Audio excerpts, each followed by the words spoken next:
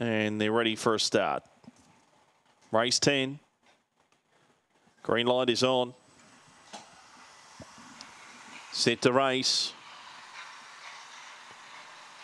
Racing, slowest out Sandy's Lara, beginning fast break in, took the lead early from Flaming Smudger. Sandy's Lara got up on the rail and shot through to second.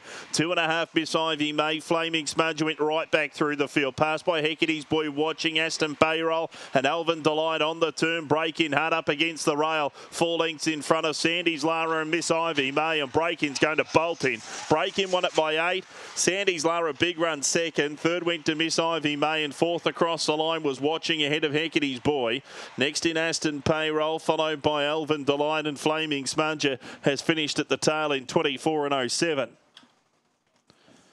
Break in, winning by panels in the end. Number one break in beat Sandy's Lara who bombed the start. Interim numbers one, two, five, eight. So one, two, five, eight race number 10. Break in the winner by Hone In out of Hard Break for B9 Matthew Nash. Second, Sandy's Lara. She's by Fabregas out of Silent Sandy for Rob Wakeman and uh, Miss